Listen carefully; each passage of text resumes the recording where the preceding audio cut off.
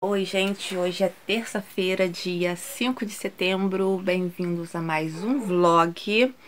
É, já é de noite. Eu gravo muito de noite porque é quando eu consigo ter mais tempo. E aí eu vou começar esse vlog pela parte que eu penso que mais interessa pra vocês, que é mostrando uma dica. E aí depois eu vou continuar a gravação, né, do meu dia, aliás, da minha noite, das coisas que eu vou fazendo por aqui. Eu vou pedir pra você, que eu sei que é uma pessoa legal, que eu sei que você pensa no bem dos outros, que eu sei que você quer que as outras pessoas também tenham esse conhecimento, que você compartilhe esse vídeo com seus amigos, porque assim, mesmo quando eu gravo o vlog aqui, eu tô sempre buscando maneiras práticas para resolver as coisas, para facilitar a vida, sabe? Para justamente porque o objetivo é ter mais tempo para outras coisas, é não tá passando perrengue, é não ter que, sabe, parar a vida porque aconteceu não sei o que, por causa de não sei o que, sabe? Então, assim, evitar problemas também. Então, mesmo em vlogs, eu tô sempre dando uma dica ou outra, então se puder compartilhar, você é uma pessoa linda. Antes de tudo, deixa eu mostrar pra vocês que eu coloquei essa gradezinha de madeira ali na porta encostada que é só um sinal para os meus cachorros que eles não podem entrar aqui agora. É, sempre que vamos fazer alguma coisa que é perigosa, né, seja para cachorro, para criança, seja o que for, manter eles longe enquanto a gente está fazendo, porque eu vou mexer com ferro, vou mexer com tesoura e tal. Então, manter eles longe. Vamos logo para a situação. Você abriu um, pacotezinho de mantimento, igual eu assim, talvez cagada desse jeito. Aí, talvez você seja aquela pessoa que, como eu, despeja às vezes num, num pote de mantimento. Eu despejo, já mostrei aqui, são garrafas de iogurte. Eu coloco arroz, eu coloco açúcar, garrafas de iogurte. Como eu moro sozinha, então a quantidade que eu faço de comida é menor, então para mim é mais fácil pegar e despejar. Mas às vezes sobra, sabe? Não, não, não cabe tudo. Isso daqui fica guardado lá. Ou então você abriu para fazer uma receita de alguma coisa, sobrou um negócio. Aí você, o que geralmente você faz? Você faz isso, né? E coloca um pregador e guarda. Ou então, você tem esse pregador aqui, que é mais próprio, né? Pra fechar aquele buraco, né? Que você abriu. Aí você vai e fecha aqui. E aí fica essa coisa ridícula dentro do seu armário. Ou você pega aqueles negocinho aqui e você amarra assim, né? Igual negocinho de pão, né? E tem algum problema nisso? Não, não exatamente, né? Tem a questão estética, que o negócio fica horroroso, mas, né? O que, que é a estética? Perto das outras coisas. É, tem o problema de espaço, né? Porque como o negócio não tá bem, bem, bem, bem, né? Fechadinho, a gente ainda fecha assim, tá? Tá bem coisa? Você fica com pouco espaço lá no seu armário. Mas o problema maior não é isso. É tipo assim, igual você usou esse negocinho de pão para fechar. Se tiver um mínimozinho espaço assim, que der pra uma formiga entrar e se o negócio for de arroz, a formiga vai entrar. Aí um dia você vai abrir o seu armário e vai estar tá cheio de formiga lá dentro. Ou então você colocou o negócio lá, o negócio caiu, sei lá. Aí o pregador soltou, aí cai aquele montão de mantimento pelo armário todo, aí pode dar bicho, etc e tal. Ou então, ah, você tá lá, o negócio tá lá no canto, mas aí você enfiou uma outra coisa, aí faz o negócio cair, sabe? Esse é o problema. E aí, essa é, é que eu vou ensinar pra vocês, é a maneira mais fácil, mais prática mais legal também, de você fechar é, novamente essas embalagens que você abriu. Aí, a primeira coisa que eu vou fazer ó, é cortar mais rentezinho aonde tá a quantidade do negócio que eu tenho, tá? Aí, ou você pode dobrar assim e fazer o procedimento que eu vou mostrar, ou então com ele inteiro assim mesmo, você pode fazer, tá? Agora a gente vai ligar o ferro de passar e coloca naquela parte mais forte, que é a parte do linho. Isso daqui, gente, é papel de pão, de um pão que eu comprei. Eu vou dobrar. Dar uma dobradinha. E aí aqui, ó, eu vou colocar a parte de trás do plástico e a parte da frente também, tá? Aí, ó, envolvi o papel por trás e pela frente. Eu tô gravando, fazendo tudo com uma mão só, né? Aí, agora peguei o ferro de passar. Aí, eu vou passar por cima, fazendo com as duas mãos é mais fácil, tá? Vou passar por cima com o ferro bem quente, né? Na parte do linho, que é a parte mais, mais é a parte mais quente, né? Ó, fui, ó. Voltei. Pode umas duas, três vezes. Então, depois de passar o ferro assim, umas três, quatro vezes, mais ou menos, você já pode abrir para ver se já fechou e lá. Claro que você pode fazer uma coisa mais bonitinha, menos torta. pode fazer um pouco maior, igual eu fiz, bem mais apertadinho, né? É... E aí, ó, você já pode guardar o seu negócio Olha aqui, ó. Em segurança, porque já fechou. Eu só dobrei esse papel assim, né? Várias vezes, porque este é um plástico mais fino. O que eu fiz ontem à noite, que eu vou mostrar pra vocês, que é outra coisa, como é com plástico mais grosso, eu não precisei de dobrar tanto assim esse papel. Mas agora, vocês já aprenderam a fazer isso, podem fazer com todos os seus mantimentos aí é, eu vou mostrar o que, que eu fiz ontem. Ah, esqueci de falar, você tira o ar, tá?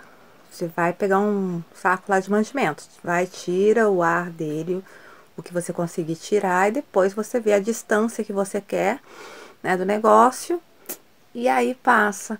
Aí você guarda. Quando você for usar de novo, aí sim você vai cortar. Então, por isso, às vezes, uma distância maior é melhor, né? Já que você é, for usar aquilo ali, já é um restinho que eu já vou usar a próxima vez que eu abrir, eu já vou usar tudo de uma vez, né? Então, por isso que eu colei, né? Colei com, com ferro, né?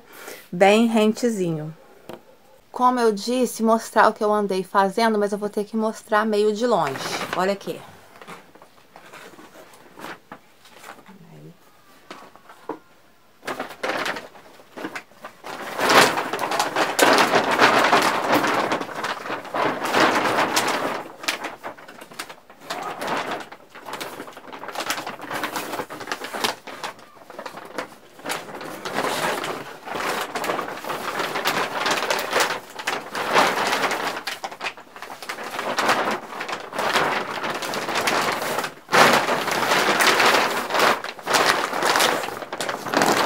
E agora eu vou explicar para vocês o que é isso.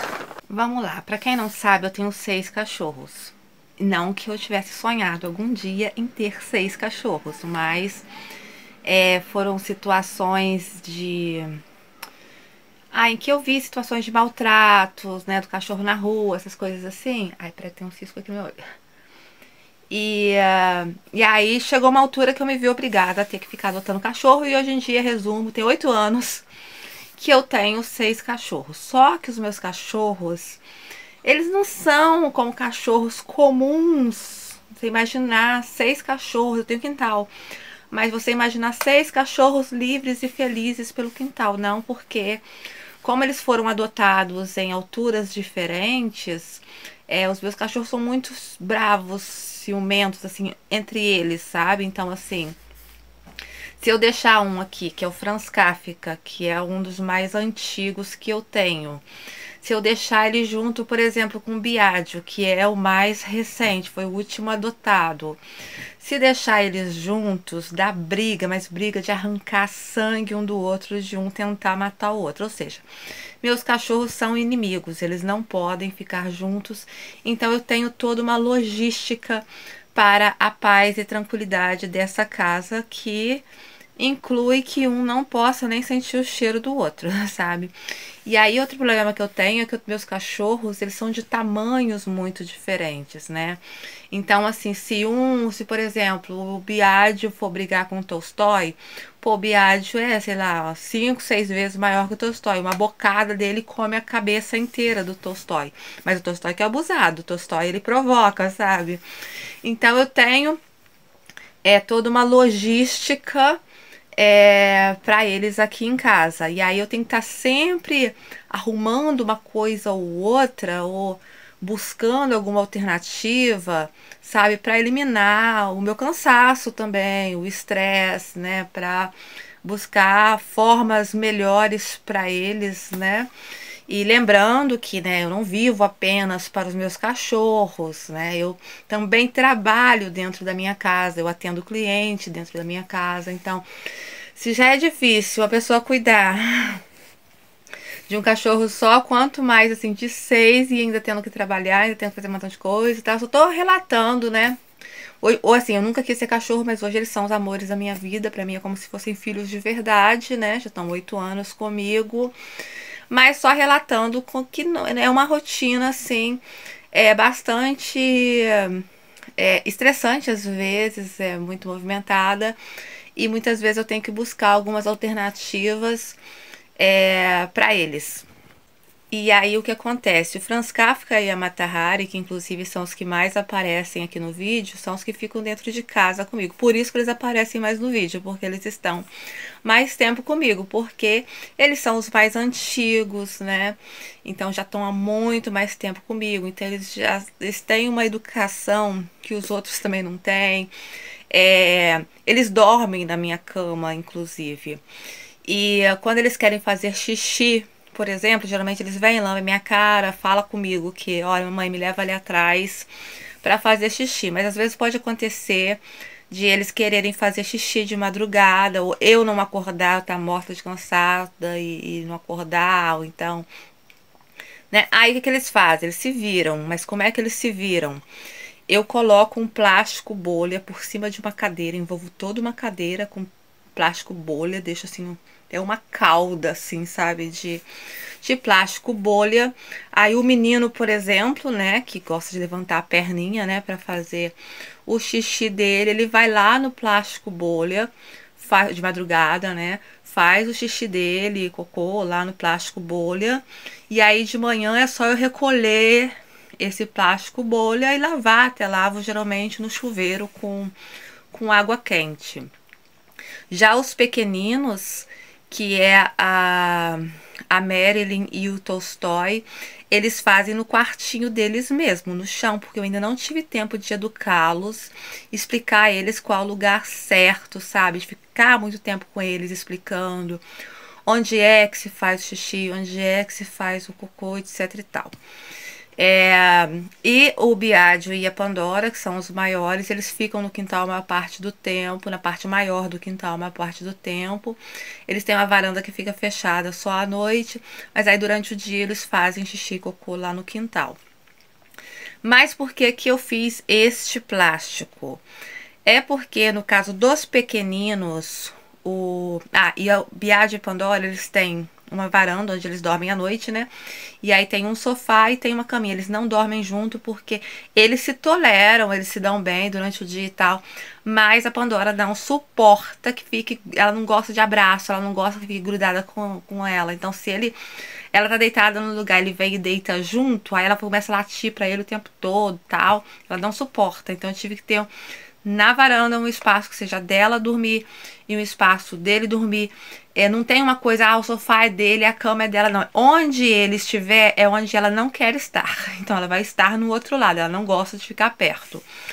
E aí, se bem que eu tenho na caminha, Eu coloquei lá um, um edredomzinho, sabe, cheio de espuma, que não sei o que. Ela, por acaso, não rasgou para comer espuma. É ao contrário dos que os daqui de dentro fariam. Franz Kafka e, e Matahari faria isso, arrancar o, o, o, o algodãozinho, né, que, que tem por dentro, né, que deixa mais quentinho, né, do edredom. Mas o que ela faz? Ela arranca o negócio da caminha, ela todo dia de manhã é isso. Eu vejo o edredom tá lá longe. Ela leva para longe, coloca ele no chão, dorme por cima do edredom, mas no chão, mas não na caminha. Isso é ela. Não tem como ficar vigiando, falar, ah, não faça isso e tal. Ela quer assim, então tudo bem. É, e aí, voltando ao Tolstói e a Marilyn, né, que são os menores, eles antes, eles dormiam dentro de um armário, sabe? De uma estante com a mãezinha deles e coisa e tal. Depois a mãe deles faleceu. E aí, recentemente, não tem muito tempo, que eu peguei uma cama de solteiro é, e eu montei essa cama de solteiro para os dois. Só que, como eu disse, eu não tive tempo de educá-lo sobre essa coisa de aonde ah, fazer xixi, essas coisas assim. E não tenho como ficar. Se são seis cachorros, assim, eu faço o máximo que eu posso. Mas é claro que eu sempre vou falhar de não conseguir vigiar todos ao mesmo tempo. E aí, é, como eu disse, eu montei uma cama de solteiro para eles recentemente lá no quarto. Eu não vou mostrar ainda não, sabe? Aos poucos eu vou mostrando as coisas aqui de casa. É, mas eu ainda não vou mostrar esse quartinho deles não. Aos poucos eu vou mostrando as coisas aqui quando for me sentindo mais à vontade. E aí eu montei lá uma cama de solteiro, tem um colchão lá. Então meu receio até hoje já tem meses que eu montei essa cama, sabe? Mas até hoje não fizeram xixi lá nessa cama, mas eu tenho receio que uma hora dê veneta lá de fazer, e por exemplo, agora tá voltando o tempo frio. Se eles fizerem um xixi no colchão, cara, é muito tempo para você colocar negócio no sol, para o negócio secar e coisa e tal, já basta, né, os edredons, cobertor, assim, que eu tenho que lavar deles, assim, que demoram a secar, e eu não quero que eles molhem, né, o colchão, já comeram o colchão, tá, assim, uma parte do colchão já foi mordida. É, eu vou costurar. Mas aí o que, que eu fiz? Por que, que eles não fizeram ainda xixi é, nesse colchão? Porque desde o início que eu fiz, eu peguei, eu queria colocar sacos, é, vou colocar plástico, né? No colchão para eles não fazerem xixi no colchão. Colocar o plástico, depois colocar, né? O lençol, as coisas assim por cima, né? Só que assim, se eu fosse usar o plástico, até esse plástico comum que vem quando você compra um colchão novo, o plástico é muito fino para eles. Lembre-se que cachorro, né, tem unha e tal, e vão ficar pulando o tempo todo ali, vai estragar. Então eu precisava de um plástico que fosse mais grosso, sabe? E aí, o plástico bolha, por exemplo, ele também não é tão grosso. Eles iam querer ficar mordendo, essas coisas assim, sabe? E aí eu tive ideia de pegar o próprio saco da ração deles e de colocar lá. Só que aí, para não ficar soltando, eu quis emendar um saco no outro. Aí a primeira coisa que eu fiz, a primeira tentativa que eu fiz foi colar com cola super bond, só que não deu muito certo, descolou tudo. E aí por isso agora com essa técnica que eu ensinei para vocês com o ferro de passar, eu vou mostrar aqui. Aí eu consegui agora unir novamente e fazer tipo um lençol inteiro só com os sacos de ração. Ficou unido um no outro. Eu só juntei assim, ó. Fiz isso com a mesma técnica que eu ensinei para mantimento. Aí agora, sabe o que eu vou fazer? Eu vou fazer tipo uma bainha. Pra não ficar, só pra não ficar muito esquisito, sabe, gente? Com o ferro também, eu vou juntar assim, né? Vou colocar o papel, vou passar e vou fazer uma bainha e vou colocar lá no quartinho deles porque eu tenho que trocar a roupa de cama deles, né? E uh, aí, ainda bem que eu já fiz isso, vai menos uma coisa pra, pra resolver. Só vou fazer agora, vou fazer agora essa bainha, é, só pra ficar direitinho, né? Porque eu tenho que dar banho neles primeiro, eles tem que ser os primeiros a tomar banho. Infelizmente, o tempo tava bom pra caramba e agora o tempo já tá ruim de novo, sabe? Ai, que raiva. Coloquei a roupa que eu estava ontem, acho que é ontem que eu tava com essa roupa. Porque eu já coloquei o plástico lá na cama das crianças, já coloquei lençolzinho novo, mas agora eu preciso dar banho nas crianças, que adianta, né? Tá tudo limpinho e elas não estarem. Então, vou dar banho na Marilyn, no Tolstói. Tá de noite? Tá. Não ser, seria bom ter dado banho mais cedo? Sim, mas eu não tive tempo mais cedo. Tá frio? Não tá tão frio assim entendeu? E aí eu vou dar banho quentinho, tal, bonitinho, depois vou secar com o secador. E como eles são menores, é mais fácil eu dar o banho neles, então bora lá, não vou gravar não, porque eu já gravei vários banhos em cachorros aqui. Vou lá dar o banho, começar pela Marilyn. Oi, gente, vovó já me deu banho. Agora eu vou cortar a unha antes dela me secar com o secador. Eu vou cortar a minha unha porque tá muito grande. Né, minha filha? Coisa linda demais de mamãe. Vovó ama muito. Gente, olha aqui, eu não precisei nem de secador. Eu tô quase toda sequinha. A vovó só vai passar o secador rapidinho. Só para aquela parte que eu não tiver secado, mas eu já tô quase toda sequinha. No tempo que a mamãe ficou aqui, ó, cortando a minha unha. Eu não gosto de cortar minha unha, não, mas eu tenho que deixar porque a mamãe só faz coisa pro meu bem, né, mamãe? Né, minha flor? Só coisa pro meu bem. Agora, gente, vocês prestem atenção. Vocês prestem atenção que quem tomou banho aqui foi Tolstói. Ele tá muito cheiroso. Ele é o neném de vovó, que tá muito cheiroso que vai cortar a unha agora. Mas eu não gosto de cortar a unha. E aí a vovó tá aqui me enrolando pra poder cortar minha unha antes de me secar. Porque aí a unha tá macia é fácil de cortar, né, vovó? Nossa, mas ele é muito lindo, gente. Por que, que ele é tão lindo assim? Eu não sei por que, que ele é tão lindo desse jeito. Olha que coisa mais bela. Ele é muito bem. Gente, já estou aqui na cama com esse meu grudinho chamado Franz Kafka. Já é meia-noite e meia. Ele tá aqui, ó. O olhinho dele já tá com sono já. Mas ele tá esperando mamãe fazer a oração do anjinho da guarda das crianças.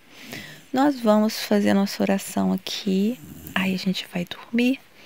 E então, até o próximo vlog. Beijinhos.